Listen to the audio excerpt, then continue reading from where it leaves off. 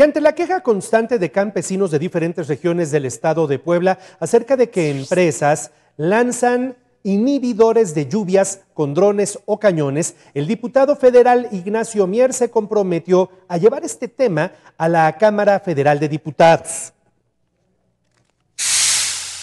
Está muy bien que tengamos, además de empleos, la posibilidad de mantener la economía de nuestro Estado.